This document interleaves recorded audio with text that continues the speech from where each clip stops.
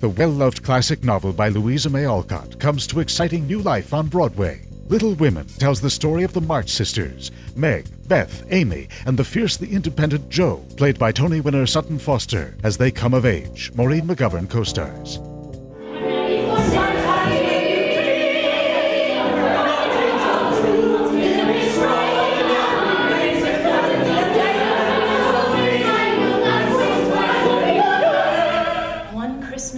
Christmas four penniless and ragged sisters put on an operatic tragedy for all of Concord.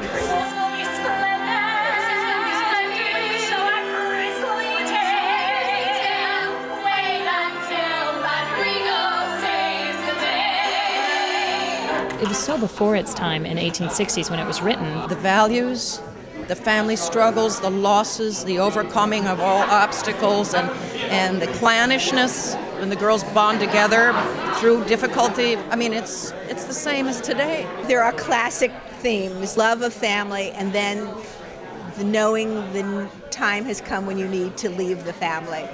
This has never changed. I think the timelessness of the story is that strong family unit.